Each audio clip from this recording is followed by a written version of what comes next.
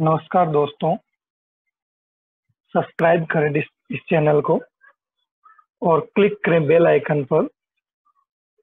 इस चैनल के सभी लेटेस्ट वीडियोस अपडेट प्राप्त करने के लिए। और सबसे पहले तो हम टेबल देखते हैं। टेबल हमारी बनी हुई है। सेलेक्ट स्टार फ्रॉम ईएमपी ठीक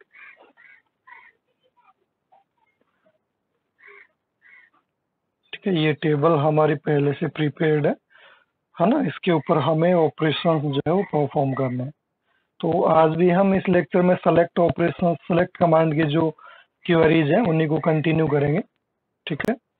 तो सबसे पहले तो देखो, इसके अंदर एक क्वेरी नेक्स्ट क्वेरी की जब हम बात करते हैं तो यहाँ पे एक क्वेरी है display the records of those employees उन एम्प्लॉयज़ के रिकॉर्ड्स हमें डिस्प्ले करने हैं who are getting salary below one thousand ठीक है?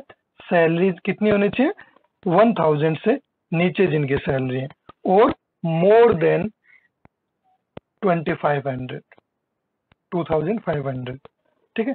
तो कुछ इस प्रकार से आ, हमें मेनली क्वेरी दी गई है। देखो हमारे पास सैलरी है वो क्या होनी चाहिए? बिलो यानी छोटी होनी चाहिए लेस देन वन थाउज़ेंड होनी चाहिए, ठीक है? और सेकंड कंडीशन क्या देखा और ठीक है? या फिर सेकंड दे रखा है, और more than two five double zero तो यहाँ पे salary more than two five double zero ये हमारी क्वेरी है, ठीक है? उन एम्प्लॉय की डिटेल हमें डिस्प्ले करवानी है मेनली जिनकी सैलरी जो है वन थाउज़ेंड से कम हो या फिर टू फाइव डबल ज़ीरो से ज़्यादा हो। ठीक है? तो देखो इसको हम किस प्रकार से क्वेरी को यहाँ पे लिखते हैं। तो सबसे पहले तो हमें सेलेक्ट कमांड यूज़ करनी पड़ेगी। सेलेक्ट स्पेसिफिक कॉलम हमें देने रखे तो हम स्टार यूज़ करेंगे।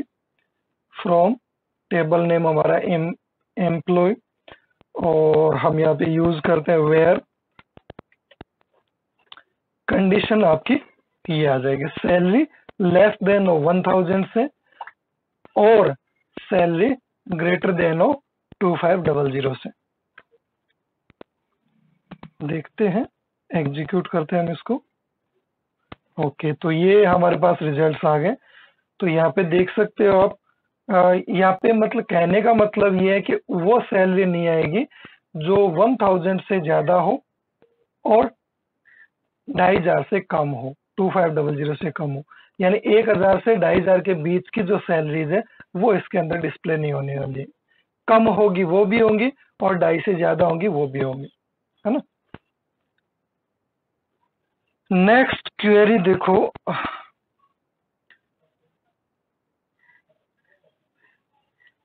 नेक्स्ट क्वेरी की अगर हम बात करें तो यहाँ पे नेक्स्ट क्वेरी हमारी आती है। Display name designation salary date of joining सबसे पहले मैं इन कॉलम्स के नेम लिख लेता हूँ वन बाय वन क्या क्या मुझे डिस्प्ले करना है? इसको मैं हटा देता हूँ एक बार। है ना? यहाँ पे मैं उन कॉलम्स के नेम लिख लेता हूँ जो जो हमें डिस्प्ले करने कंडीशन हम बाद में देखेंगे। सबसे पहले डिस्प्ले नेम तो नेम यानी ई नेम एम्प्लॉय नेम है हमारा कॉलम के अंदर। उसके बाद डेजिग्नेशन डेजिग्नेशन का मतलब किस पद पे हो? तो हमारे यहाँ पे कॉलम क्या है? जॉब है। तो यहाँ पे मैं लिख देता हूँ जॉब ठीक है? एंड देन नेक्स्ट दे रखा है सैलरी तो सैलरी के लिए हमें कॉलम ले रखा है एस एल और उसके बाद डेट ऑफ़ ज्वाइनिंग जो कि हमारा है hire date H I R E D A T E hire date and department number तो डिपार्टमेंट नंबर ठीक है? तो ये इतने कॉलम्स हमें डिस्प्ले करवाने यानी छोड़ा क्या क्या है? एम्प्लॉय नंबर हमें नहीं चाहिए। मैनेजर कौन है? कौन उनको मैनेज कर रहा है? वो डिटेल हमें नहीं चाहिए।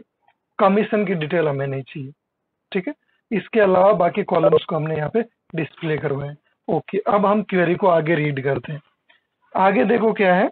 Display name designation salary date of joining and department number of those employees कौन से एम्प्लॉय की? Who are not working as clerk और सेल्समैन जो कि क्लर्क और सेल्समैन के रूप में वर्क नहीं कर रहे हो। उन एम्प्लॉय के हमें ये सब डेटा प्रिंट करवाने ओके तो यहाँ पे मैं कंडीशन लगा देता हूँ। वेयर तो जॉब के अकॉर्डिंग हम कर रहे हैं यहाँ पे तो जॉब मैं यहाँ पे लेने वाला हूँ और यहाँ पे नोट इक्वल टू हम लेने वाले हैं। Not equal to clerk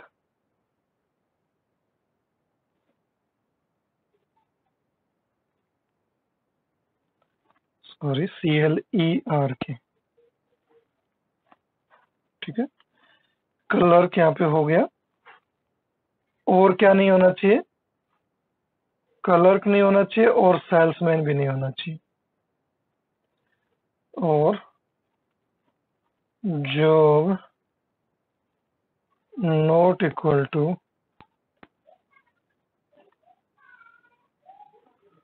not equal to salesman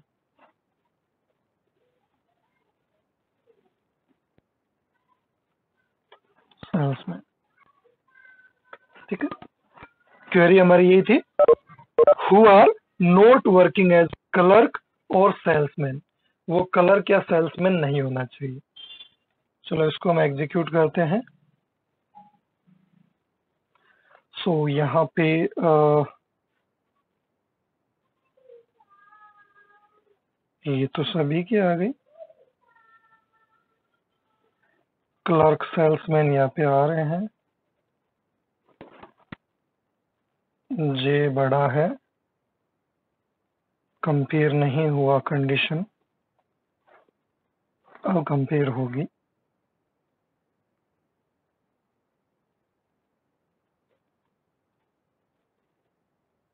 अभी भी सारी डिटेल आ रही है ना?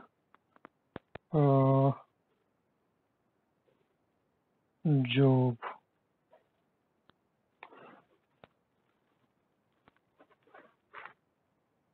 कैपिटल स्मॉल का भी चक्कर रहता है कि इनपुट के टाइम स्मॉल दिया था या कैपिटल दिया था। तो यहाँ पे job not equal to clerk ठीक है, और सेकंड हमारी कंडीशन हो गई job not equal to salesman condition दोनों ठीक है। But that is not working properly ना कुछ ना कुछ यहाँ पे इश्यू है।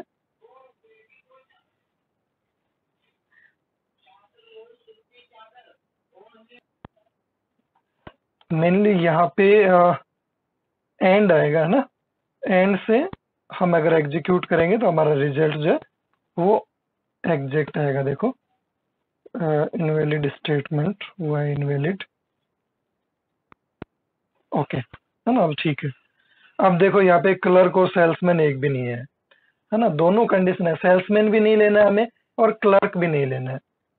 जब और हमने यहाँ पे लगा दिया था तो इसके, इससे क्या हो रहा था कि दोनों में से एक भी कंडीशन अगर फॉल्स हो रही है और एक ट्रू हो रही है तो उसको ले लिया जाएगा। तो क्लर्क के रूप में तो ये वाली फॉल्स होगी बट ये ट्रू हो जाएगी।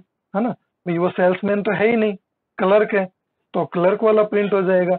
और इसी प्रकार सेल्समैन वाले में अगर वो सेल्समैन है क्लर्क नहीं है तो वो वैसे प्रिंट हो जाएगा, इसलिए यहाँ पे एंड हमें यूज़ करना पड़ेगा, है ना? तो ये हमारी मिस्टेक थी। तो यहाँ पे देख सकते हो आप analyst manager manager analyst manager और प्रेसिडेंट इनकी इन्फॉर्मेशन यहाँ पे डिस्प्ले हो गई है ना? क्लर्क और सेल्समैन यहाँ पे कोई भी नहीं आया ओके नेक्स्ट क्वेरी की हम बात करते हैं यहाँ पे। नेक्स्ट क्वेरी हमारी display employees who are drawing commission more than salary ऐसे एम्प्लॉयज़ को ढूंढना है जो सैलरी से ज़्यादा कमीशन ले रहे हैं, है ना? Display only those records where commission is given है ना? Sort the output in the ascending order of commission यानी जो नॉन ज़ीरो वैल्यूज़ है कमीशन के अंदर, उनको हमें डिस्प्ले करना है, ठीक है? और उसको भी हमें असेंडिंग ऑर्डर में डिस्प्ले करना है। यानी हमें ऑर्डर बाय यूज़ करना पड़ेगा। और जो सैलरी से ज़्यादा कमीशन ले रहे हैं, उनकी डिटेल यहाँ पे आनी चाहिए। तो चलो मैं यहाँ पे वन बाय वन इनको क्वेरी के अंदर पुट करता हूँ। तो यहाँ रिकॉर्ड तो हमें सारे लेने हैं तो मैं स्टार लगा देता हूँ। अब हम कंडीशन की तरफ़ चलते हैं वेयर जो कमीशन है हमारा, वो एक्चुअली बड़ा होना चाहिए। इसको हटा देता हूँ मैं पूरे को। कमीशन जो है वो बड़ा होना चाहिए किससे? सैलरी से। ठीक है? पहली कंडीशन तो हमारी ये थी। एंड दूसरी कंडीशन ये है कि जिनका कमीशन जिनको कमीशन मिल रहा है, केवल उन्हीं को हम यहाँ पे रिप्रेजेंट करें। वैसे तो हमने कमीशन सभी के टेबल में इनपुट किया है। जिनको कमीशन नहीं मिल रहा है, उनकी टेबल में हमने ज़ीरो इनपुट किया है। ठीक है? तो यहाँ पे हम खाली भी छोड़ सकते थे बट उसके लिए हमें इंसर्ट फ़ंक्शन दूसरा यूज़ करना पड़ता है, जो कि हम इंसर्ट को डिस्कस करेंगे, तब डिस्कस करेंगे।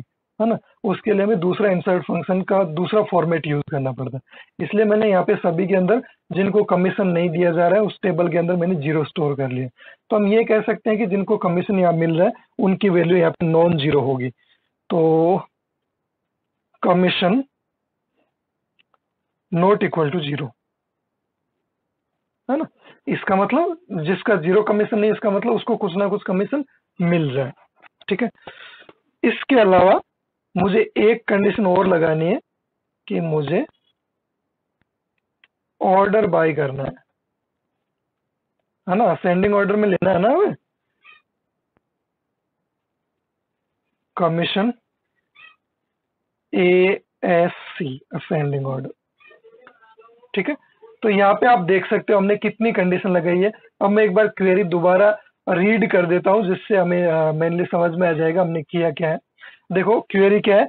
Display employees who are drawing commission more than salary तो उसके लिए हमने कंडीशन लगाई है कमीशन ग्रेटर देन सैलरी ठीक है?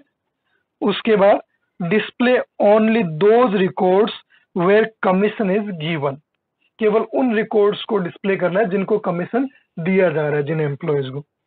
Sort the output in the ascending order of commission ठीक है?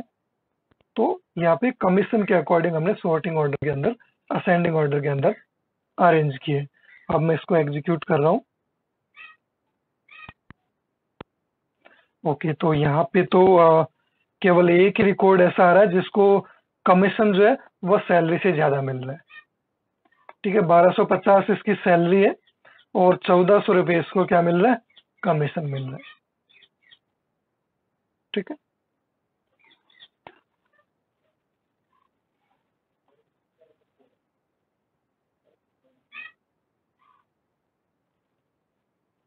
ओके नेक्स्ट अपने नेक्स्ट क्वेरी पे चलते हैं।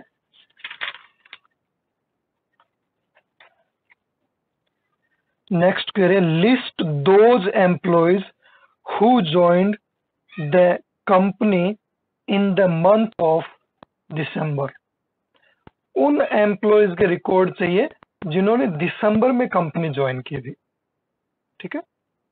तो देखते हैं हम किस प्रकार से हम इसको निकालेंगे। ठीक है? तो यहाँ पे कॉलम्स तो पूछे ही नहीं गए तो दिसंबर में कहा से पता चलेगा हमें? हायर डेट से पता चलेगा कि उसने किस डेट को ज्वाइन किया था। इसके अंदर से हमें मंथ निकालना है। है ना? तो मंथ निकालने के लिए किसी भी स्ट्रिंग में, बीच में से किसी चीज़ को कंपेयर करने के लिए क्या करते हैं? ये हमने पिछले लेक्चर में पढ़ा था।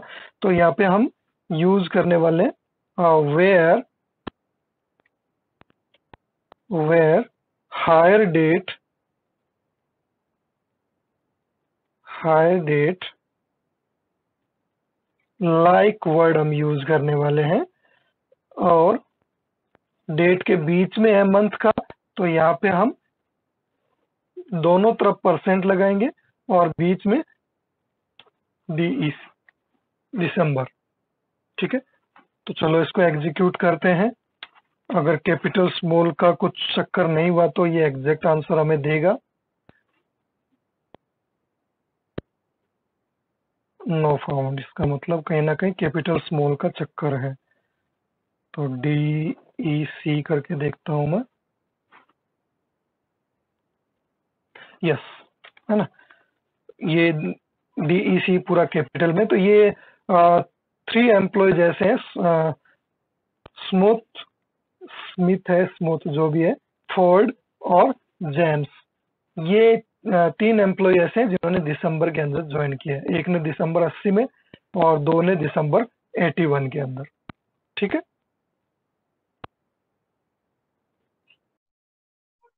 हेलो दोस्तों चैनल को सब्सक्राइब करना ना भूलें वीडियो को लाइक करें शेयर करें और बने रहें आपके अपने चैनल पॉसिबल नॉलेज के साथ इसी तरह के लेटेस्ट वीडियोस पाने के लिए।